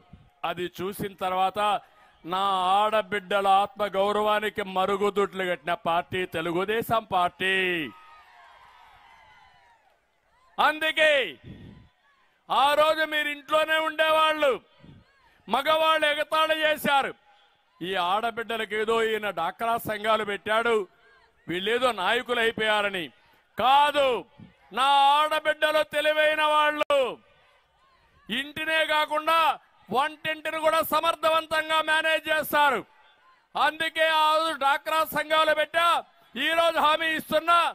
మీరెక్కడికి పోవాలన్నా ఆర్టీసీ బస్సుల్లో ఉచిత ప్రయాణ సౌకర్యం ఏర్పాటు చేస్తాను. ఏమమ్మా మీకు అందరికీ అర్థమైందా నేను చెప్పిందని అడుగుతున్నా మా ఆడబిడ్డలకి? రెండు కోట్ల యాభై లక్షల మంది మా ఆడబిడ్డలున్నారు. ఒక అన్నగా చెప్తున్నా కొత్త పిచ్చిగాళ్ళు వచ్చారు. ఉత్తుత్తి మాటలు చెప్తున్నారు. మీ బిడ్డల భవిష్యత్తు నాశనం చేసేస్తారు. కడాన వాళ్ళకందరికి గంజాయి ఇచ్చేసి మీ పిల్లలు మీకు తక్కువకుండా చేసే పరిస్థితికి వస్తారు. నేను అట్ట కాదు మీకు న్యాయం చేస్తా. మీ పిల్లల్ని ఐటీ చదివించి బంగారు ఉద్యోగం ఇప్పిస్తా. మా తమ్ముళ్ళకి ఇంత మునిపే చెప్పా. వర్క్ ఫ్రమ్ హోమ్ మీ ఇంట్లో మీరు కూర్చొని అమెరికాలో ఉండే కంపెనీకి పనిచేసే అవకాశం కల్పిస్తా. ఇంట్లో బోరు కొడితే మండల హెడ్ క్వార్టర్లో ముఖ్యమైన గ్రామంలో వర్క్ స్టేషన్లు పెడతా మూడు ఎక ఒక ఎకరాలో మంచి బిల్డింగ్ కట్టి గార్డెన్లు పెట్టి అక్కడికి వచ్చి మీరు పని చేసుకొని అక్కడే శిక్షణ పొంది అక్కడే కావాలంటే కాఫీ టీ అన్ని తాగి సాయంత్రం వరకు భోజనాలు కూడా అక్కడనే పెట్టుకొని లక్షణంగా మళ్ళా ఇంటికి పోయే ఏర్పాటు తల్లిదండ్రులు చూసుకునే ఏర్పాటు కల్పిస్తానని మీ అందరికి హామీ ఇస్తున్నా. అందుకని ఇదే కాదు. ఈరోజు మీరు చూస్తే రక్షిత మంచినీళ్ళ పథకం తీసుకొచ్చి ప్రతి ఒక్క ఇంటికి సురక్షిత మంచినీళ్ళు ఇచ్చే బాధ్యత తెలుగుదేశం జనసేన తీసుకుంటాం. నీళ్ళు ఇవ్వలేని దారుణమైన ప్రభుత్వం ఈ ప్రభుత్వం. అన్నదాతకు హామీ ఇస్తున్నా. రైతే రాజుగా చేస్తాం. సంవత్సరానికి ఇరవై వేల రూపాయల ఆర్థిక సహాయం చేసి వ్యవసాయంలో ఆధునీకరణ తీసుకొచ్చి మీ భవిష్యత్తు బంగారు భవిష్యత్తు చేసే బాధ్యత తెలుగుదేశం జనసేనదని చెప్పి మరొకసారి హామీ ఇస్తున్నా. విశాఖపట్నం ఉత్తరాంధ్ర బీసీల గడ్డ బీసీలు తెలుగుదేశం పార్టీకి వెన్నెముక. మీ రుణం తీర్చుకుంటా. సబ్ ప్లాన్ తీసుకొస్తా. ప్రొటెక్షన్ యాక్ట్ తీసుకొస్తా. ప్రతి ఒక్క బీసీని ఆదుకునే బాధ్యత తెలుగుదేశం పార్టీ బాధ్యత. అది చేసే విధంగా ముందుకు పోతామని నా బీసీ సోదరులందరికీ హామీ ఇస్తున్నా. నేను ఒకటి పింఛన్ తీసుకున్న వాళ్ళందరికీ ఒకటే విజ్ఞప్తి చేస్తున్నా. ఎవరు తెచ్చారయా పింఛన్లు? ఫస్ట్ ప్రారంభమైంది ఎన్టీ రామారావు గారి పీరియడ్లో. ముప్పై ఐదు రూపాయలు. దాన్ని డెబ్బై ఐదు రూపాయలు చేశాం. తర్వాత అన్ని ప్రభుత్వాలు కలిసి రెండు వందల రూపాయలు చేశారు. నేను వస్తానే పద్నాలుగులో ఆర్థిక ఇబ్బందులున్నా ఒకేసారి రెండు వందల రూపాయలు వెయ్యి చేశా. వెయ్యి రూపాయలు రెండు వేలు చేశా. అంటే ఐదేళ్ళలో పది రెట్లు పెంచిన పెంచిన పార్టీ తెలుగుదేశం పార్టీ. అవునా కాదా అని మిమ్మల్ని అడుగుతున్నా? జ్ఞాపకం ఉందా అని మిమ్మల్ని అడుగుతున్నా? ఇప్పుడు మాట్లాడుతున్నాడు ఈ ముఖ్యమంత్రి. అంచెల వారిగా పెంచాడంట. ఎంత పెంచావు? రెండు వేల నుంచి ఐదేళ్ళలో మూడు వేలు పెంచి రెండు వందల యాభై రెండు వందల యాభై పెంచి గొప్పలు చెప్పుకుంటున్నాడు. నేను ఒకటి హామీ ఇస్తున్నా. మీ ఇంటి దగ్గరని మొదల తారీఖున అందరికీ పింఛన్లు ఇచ్చే బాధ్యత తెలుగుదేశం జనసేన తీసుకుంటాం. అంతేకాదు మళ్ళీ ఆలోచిస్తున్నా పింఛన్లు ఎంత పెంచాలనో పెంచే బాధ్యత కూడా మాదని మీ అందరికి హామీ ఇస్తున్నా. ఒకప్పుడు నాకు అనిపించేది ఒక పక్క పింఛన్ ఇచ్చి అన్నా క్యాంటీన్ పెడితే ఐదు రూపాయలకే పూటకు భోజనం మూడు పూట్ల భోంచేసే ఐదు రూపాయలు. నెలంతా భోంచేసే నాలుగు వందల యాభై రూపాయలు. నేను ఆ రోజు పింఛన్ ఇచ్చింది మీకు రెండు వేల రూపాయలు. అంటే పదైదు వందల యాభై రూపాయలు మీకు అదనంగా ఇచ్చిన పార్టీ తెలుగుదేశం పార్టీ ఖర్చుల కోసం అందుకనే ఇంకోటి కూడా చెప్తున్నా మీ అందరికీ. ఈ పింఛన్ ఇచ్చిన తర్వాత ఎవరన్నా బయట పోతే మూడు నెలల్లో ఎప్పుడొచ్చినా పాత బకాయిలు కూడా మీకు ఇచ్చే బాధ్యత తెలుగుదేశం ప్రభుత్వం తీసుకుంటాం జనసేన ప్రభుత్వం తీసుకుంటాం. అది ఎప్పుడు కావాలంటే అప్పుడు ఇస్తామని చెప్పి కూడా నేను మీకు తెలియజేస్తున్నా. ఇంకో పెక్క పేదవాళ్ళందరికీ హామీ ఇస్తున్నా. ఒకప్పుడు రెండు సెంట్లు భూమి ఇచ్చాం. ఇంటి జాగా కోసం వీళ్ళు ఇచ్చేది ఒక్క సెంట్ అంట. సెంట్లో ఏం చాలుతుంది తమ్ముళ్ళు అని అడుగుతున్నా. అందుకే ఆమె ఇస్తున్నా. అందరికీ రెండు సెంట్లు ఇంటి జాగా ఇచ్చి బ్రహ్మాండమైన ఇండ్లు కట్టే బాధ్యత. మీకు ఇండ్లకు ఖర్చు పెట్టే బాధ్యత నాది. ఇల్లు ఒక ఆస్తి. ఆ ఆస్తి మీ హక్కు. అందుకే టిట్కో ఇండ్లు కట్టించాను. ఆ టిట్కో ఇండ్లకు కలర్లు కొట్టుకున్నారు కానీ రంగుల పిచ్చోడు రంగులేసుకున్నాడు కానీ ఇండ్లు మాత్రం ఇవ్వాలా? ఇచ్చాడా అని అడుగుతున్నా మిమ్మల్ని. మళ్ళీ ఆ ఇండ్లు పూర్తి చేస్తా. మీకు ఉచితంగా ఇచ్చే బాధ్యత మాది. ఇంకో పక్క నిన్న మొన్న చెప్తున్నాడు నేను నూట డెబ్బై ఐదు గెలుస్తానని. వై నాట్ సెవెంటీ ఫైవ్ అంట్ వన్ సెవెంటీ ఫైవ్ అంటున్నా నేను అంటున్నా వై నాట్ పులివెందల? పులివెందల కూడా మనమే గెలవాలి. అవసరమా లేదా అని అడుగుతున్నా మిమ్మల్ని. ఇప్పుడు మీరు చూస్తే అభ్యర్థులు దొరకడంలా ఈ మధ్య సిద్ధం అన్నాడు. కానీ సిద్ధం అన్న ఈ వ్యక్తి సందిగ్ధంలో పడిపోయాడు. నూట పదహైదు గెలుస్తా అన్నాడు. బదిలీలే బదిలీలు. ఈ ఊర్లో చెత్త ఇంకొక ఊరికి బదిలీ. దానికి సిద్ధం. అయితే ఆరు లిస్టులు ఇచ్చాడు. ఎనభై ఐదు మందిని మార్చాడు. కొంతమంది ఈయన ఆదేశాలు ఇస్తే ఆ ఆదేశాలను చెత్తబుట్లో బారేశారు. నువ్వెవడు మాకు ఆదేశాలు ఇవ్వడానికి నీ ఆదేశాలు పట్టించుకోమని. కొంతమంది రాజీనామాలు చేశారు. కొంతమంది పారిపోయారు. మళ్ళీ మీరు చూస్తే మొదటి లిస్టులో ఇచ్చిన వాళ్ళకి రెండో లిస్టులో మార్చాడు. రెండో లిస్టులో ఇచ్చిన వారికి మూడో లిస్టులో మార్చేశాడు. అంటే ట్రాన్స్ఫర్లు రీట్రాన్స్ఫర్లు తర్వాత అగైన్ ట్రాన్స్ఫర్లు అన్ని పిచ్చి రాజకీయాలు చేస్తున్నాడు తప్ప ఎక్కడ రాజకీయం అంటే ఏబిసిడీలు ఓనమాలు తెలియని పిచ్చి వ్యక్తి ఈ జగన్మోహన్ రెడ్డి. రాజకీయం ఒక పవిత్రం అవునా కాదా? ప్రజలకు సేవ చేసేది రాజకీయం అవునా కాదా? మీ భవిష్యత్తుకు కృషి చేసేది రాజకీయం అవునా కాదా? కానీ మిమ్మల్ని అంధకారంలో పెట్టేది రాజకీయం అని అడుగుతున్నా మిమ్మల్ని అందరినీ. ఆయన ఒక కన్ఫ్యూజ్ అయ్యాడు. ఎమ్మెల్యేలు కన్ఫ్యూజ్ చేశాడు. అతను సందిగ్ధంలో ఉన్నాడు. ప్రజల్ని సందిగ్ధంలో పడేసి ముందుకు పోయే పరిస్థితికి వచ్చాడు. అందుకే చెప్తున్నా సిద్ధం లేదు బూడిద లేదు గాడిద లేదు. పిచ్చోడికి సందిగ్ధం. పిచ్చోడి దగ్గర రాయి ఉంటుంది. ఆ రాయి ఆయనైనా కొట్టుకుంటాడు నిన్న కొడతాడు నన్నైనా కొడతాడు. అదే జరుగుతా ఉంది ఈరోజు. రాష్ట్రంలో పిచ్చోడి చేతికి అధికారాన్ని ఇచ్చాం మనం. ఆ అధికారంతో మనవల్ని నాశనం చేసే పరిస్థితికి వచ్చాడు. అందుకే మిమ్మల్ని కోరుతున్నా.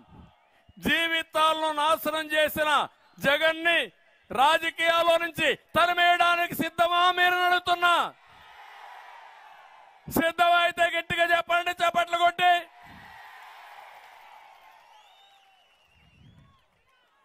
ఆయన అంటున్నాడు ప్రజలే నాకు స్టార్ క్యాంపెయినర్లని. తనకెవరూ లేరంటున్నాడు. పేపర్లే లేవంటున్నాడు. ఛానలే లేదంటున్నాడు. నీ అవినీతి పుత్రికే కదా సాక్షి పేపరు? నీ అవినీతి పుత్రికే కదా సాక్షి ఛానల్ అడుగుతున్నా మిమ్మల్ని అందరినీ. ఇంత అబద్ధాలు కోరిన ఎప్పుడైనా చూశారా అని అడుగుతున్నా. అందుకే నేను అడుగుతున్నా ఒకే ఒక మాట. కలియుగ భస్మాసురుడు ఈ జగన్. ఆయన అంతం చేయడం మీ అందరి బాధ్యత. అదే మీకు వజ్రాయుధం మీకుండే ఓటు అని చెప్పి నేను మీకు తెలియజేస్తున్నా. అందుకని జగన్ ఓడించడానికి భస్మాసుడిని హతం చేయడానికి నిరుద్యోగి ఒక స్టార్ క్యాంపెయినర్గా తయారు కావాలి. సిద్ధమా తమ్ముళ్ళు అని అడుగుతున్నా మిమ్మల్ని. జగన్ని ఓడించడానికి భస్మాసురుణ్ణి అంతం చేయడానికి మా ఆడబిడ్డ మహిళా రక్షణ కోసం స్టార్ క్యాంపెయినర్గా తయారు కావాలి. సిద్ధమా ఆడబిడ్డలని మిమ్మల్ని అడుగుతున్నా. నిలిసిపోయిన ప్రతి ఇరిగేషన్ ప్రాజెక్టు ఒక స్టార్ క్యాంపెయినర్గా తయారు కావాలి. పన్నుల బాధుడికి బలైపోయిన ప్రతి పేదవాడు జగన్ ఓటమికి ఒక స్టార్ క్యాంపెయినర్ కావాలి. ఊచకోతకు గురైన బీసీ దళిత మైనారిటీలందరూ కూడా స్టార్ క్యాంపెయినర్లుగా తయారు కావాలి. దీనికి సిద్ధంగా ఉన్నారా అని కుండే మిమ్మల్ని అందరిని అడుగుతున్నా. మంచి మధ్యాహ్నం. ఎండాకాలం ప్రారంభమైంది. అందరికీ చెమట్లు పడుతున్నాయి. ఒక్కరు కూడా కదలలేదంటే నా జీవితంలో ఎప్పుడూ మర్చిపోలేను. మిమ్మల్ని గుండెల్లో పెట్టుకుంటా. జ్ఞాపకంగా ఉంటా. నా జీవితం మీకు అంకితం. నాకు ఏ కోరికలు లేవు. నేనేదో ముఖ్యమంత్రి కావాలని వచ్చానా అని మిమ్మల్ని అడుగుతున్నా. ముఖ్యమంత్రి పదవి నాకు కొత్త ఉన్నా కొత్తనా నాకు? కాబట్టే చెప్తున్నా నష్టపోయింది రాష్ట్రం. నష్టపోయింది తెలుగు తెలుగు జాతి. ఒక సీనియర్ నాయకుడుగా మళ్ళీ ఈ రాష్ట్రాన్ని గట్టెక్కించడానికి ఈ జాతిని కాపాడడానికి నేను మీ దగ్గరకు వచ్చాను. నన్ను ఆశీర్దిస్తారా అని మిమ్మల్ని అడుగుతున్నా. గట్టిగా చప్పట్లు కూడా చెప్పండి ఆశీర్దిస్తామంటే ఇక్కడికి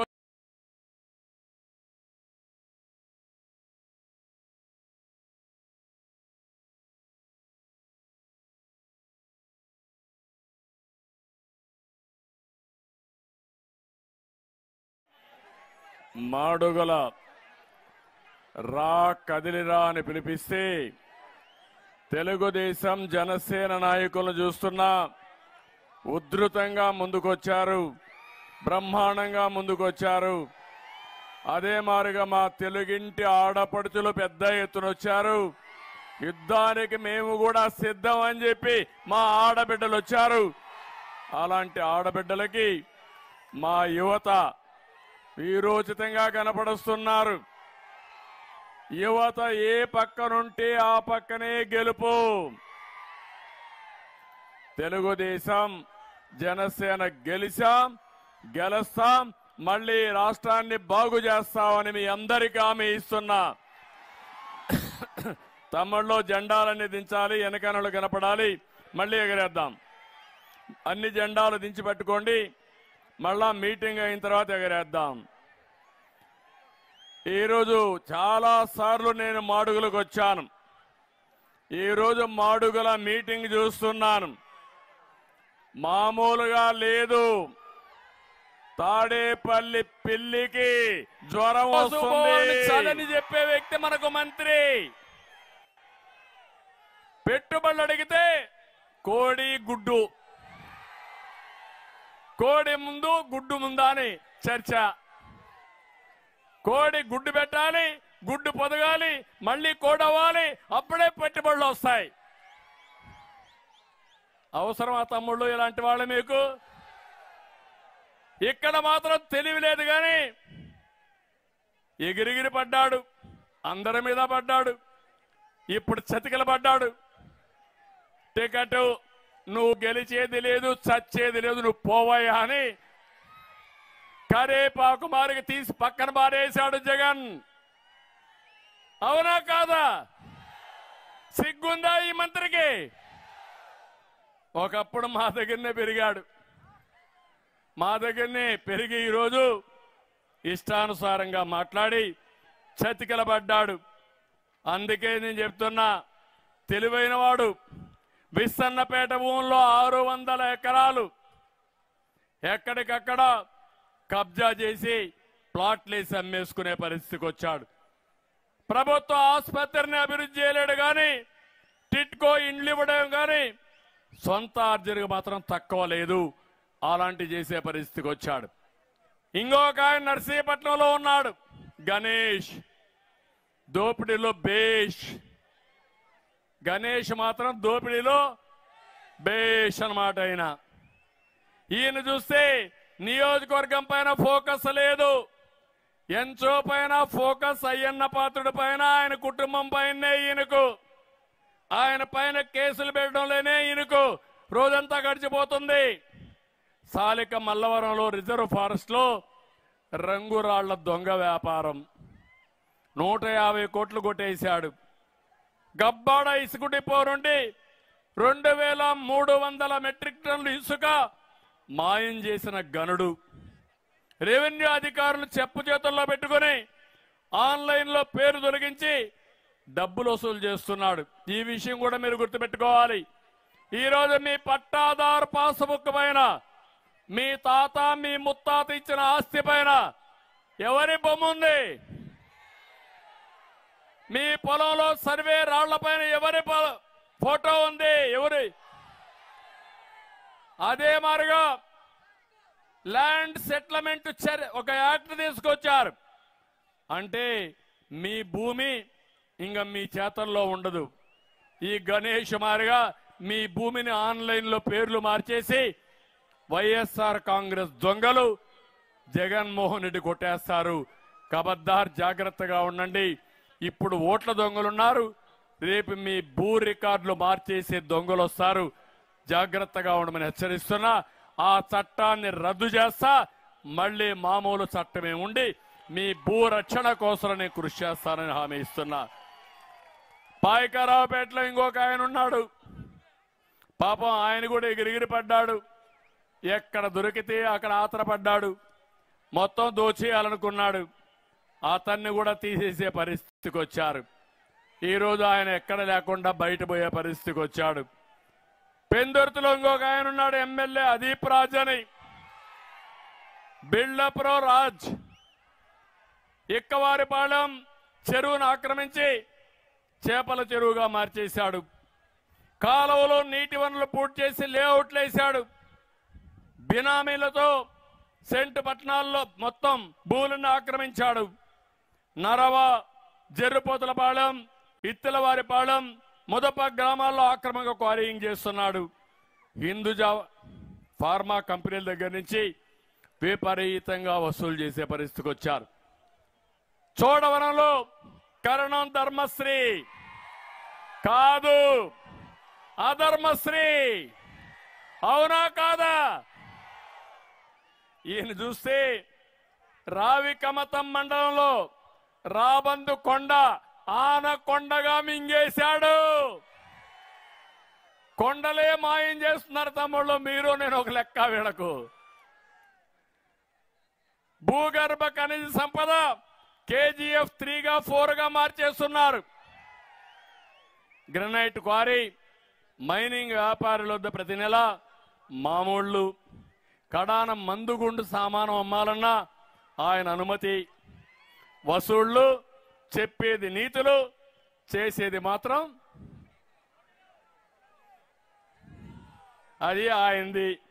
ఇంకొక ఆయన ఉన్నాడు అందరికంటే గనుడు రారాజు అవినీతిలో. ఆయనే ఎమ్మెల్యే రమణమూర్తి రాజు ఎలమంచిలి అవునా కాదా? ఈయన అరాచకాలైతే ఎవరైనా ఇది తప్పు అంటే వాళ్ళ మీద దాడి. అలాంటి వ్యక్తులు బెదిరింపు. అచితాపురం మండలంలో పూడిమడక లాలంకోడూరులో తొంభై ఎకరాలు కొట్టేశాడు. డొప్పెర్లలో అరవై ఎకరాలు కొట్టేశాడు. నేను అడుగుతున్నా ఇలాంటి వస్తువుల రాజాలు మీకు కావాలనా అని మిమ్మల్ని అడుగుతున్నా. మీ కళ్ళ ముందర చూసారా లేదా అని మిమ్మల్ని అడుగుతున్నా. వీళ్ళని చిత్తు చిత్తుగా ఓడిస్తామని గట్టిగా చెప్పండి కూడా చెప్పండి. అందుకే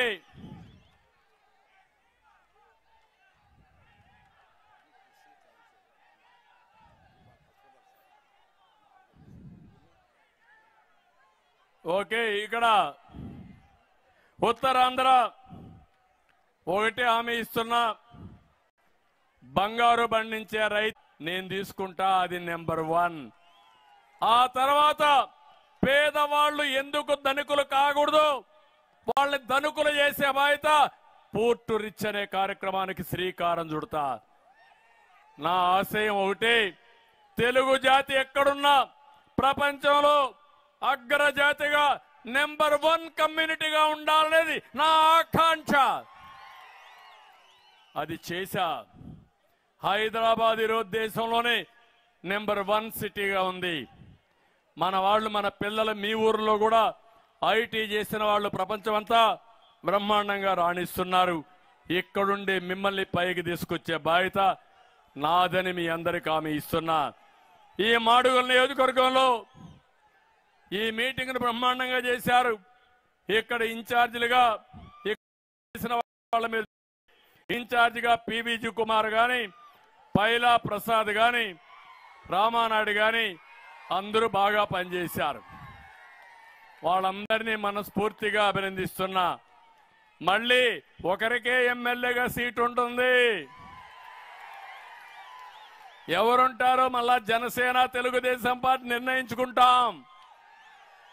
జనసేనకిచ్చినా తెలుగుదేశానికి ఇచ్చినా ఈ ముగ్గురులో ఏ ఒక్కరికి ఇచ్చినా అందరూ కలిసి పనిచేయాలి. తెలుగుదేశం పార్టీని గెలిపించాలి. రాష్ట్రాన్ని కాపాడుకోవాలి. దానికి మీరందరూ కూడా ఆశీర్వదించాలి. ఆశీర్వదిస్తామని గట్టిగా చెప్పండి. అందుకే నేను ఒకటే మిమ్మల్ని అందరినీ కోరుతున్నా మీరు ఒక అడుగు వేయండి నేను వంద అడుగులు వేస్తాను ఈ రాష్ట్రాన్ని అన్ని విధాల అభివృద్ధి చేసే శక్తి సామర్థ్యం మాకుంది. చేసుకుందాం. అధైర్యపడాల్సిన పని లేదు. ఐదేళ్ళలో రాష్ట్రం ఇరవై ఐదు ముప్పై సంవత్సరాలు వెనక్కి వెళ్ళిపోయింది ఆంధ్రప్రదేశ్ బ్రాండ్ దెబ్బతినింది. బయట అందరూ ఎగతాళి చేసే పరిస్థితికి వచ్చారు. ఆ సిగ్గుమాలిన పని చేసిన జగన్మోహన్ రెడ్డిని ఇంటికి పంపించి రాష్ట్రాన్ని కాపాడుకోవడానికి మీరు ముందుకు రావాల్సిందిగా మరొక్కసారి కోరుకుంటూ ఇక్కడ నేను కొన్ని పిలిపిస్తాను. ఉత్తరాంధ్ర పరిరక్షణ కోసం అంటే రా కదిలిరా అని మీరు చెప్పాలి. పిడికిలి బిగించి చెప్పాలి. ఉత్తరాంధ్ర పరిరక్షణ కోసం రైతుల సంక్షేమం కోసం యువత ఉద్యోగాల కోసం తెలుగు జాతిని నెంబర్ వన్ చేయడానికి రాతియుగం పోవాలి స్వర్ణయుగం రావాలి. రాతియుగం పోవాలి స్వర్ణయుగం రావాలి. మనందరి జీవితాలు బాగుపడాలి. వస్తారు కదా? నమ్మకమేనా? ఇంటింట్లో చర్చ జరగాలి. ఒకరు పది మందికి చెప్పాలి. పది మంది వంద మందికి చెప్పాలి. వంద మంది వెయ్యి మందికి చెప్పాలి. కడాన వైఎస్ఆర్ కాంగ్రెస్ పార్టీ ఖాళీ అయిపోవాలి. క్లీన్ అవుట్ అయిపోవాలి. ఈ ఎండలో మీరున్నారంటే నాకు నమ్మకం పెరిగిపోయింది. మీరు ఇదే మారుగా నేను చెప్పింది అర్థం చేసుకొని ముందుకు రండి. నా శక్తి పెంచుకుంటా కొండనైనా సరే బద్దలు చేసి మీ రుణం తీర్చుకుంటా. నమ్మకమేనా అని అడుగుతున్నా మిమ్మల్ని. యువత రోషం ఉందా అని అడుగుతున్నా. ఏవమ్మా మీరు? ఏం తమ్ముళ్ళు మీరు? రైతులు అందరం ఒకటి అవుదాం. ఈ రాష్ట్రాన్ని కాపాడుకునే బాధ్యత మనందరిది. దానికి మేము నిమిత్త మాత్రలం. మేము ముందుకు వస్తాం మీరు నడిపించేది మీరే శాసించేది మీరే గెలిపించేది మీరే. ఈ రాష్ట్రాన్ని కాపాడే బాధ్యత మీదేనని మరొక్కసారి విన్నవించుకుంటూ అందరికీ నమస్కారాలు జై Hind Time to break it down. You ready?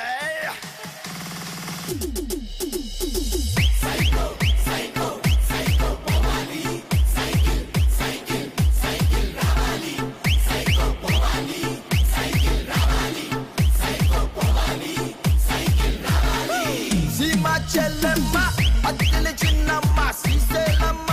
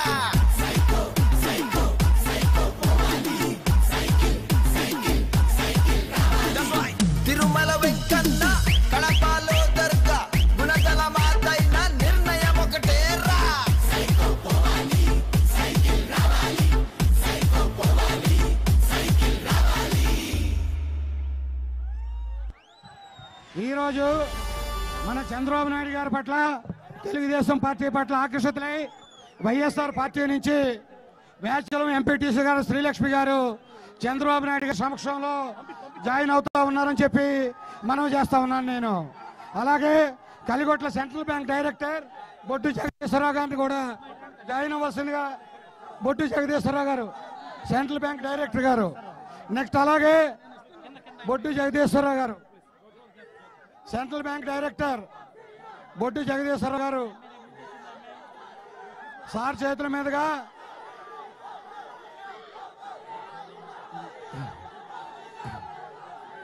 బొడ్డు జగదీశ్వరరావు గారు సార్. కొత్తపేంట ఎక్స్ఎంపీటీసీ సిరికి గోవిందరావు గారు. సిరికి గోవిందరావు గారు. కొత్తపేంట ఎక్స్ఎంపీటీసీ ఒక్క నిమిషం ఒక్క నిమిషం అండి. Kothapeta ex MPTC Kaligotla central bank director Boddu Jagadeeswararao గారు. రండి పక్క రండి. కొత్తపేట ఎంపీటీసీ సిరికి గోవిందరావు. రండి రండి రండి. Vakapalli MPTC Penugonda Sivachalam Naidu. ఎంబెల్బండ ex milk president Gorrela Kesavarao. Cooperative director Gorrepati సన్యాస నాయుడు. బాబు రండి.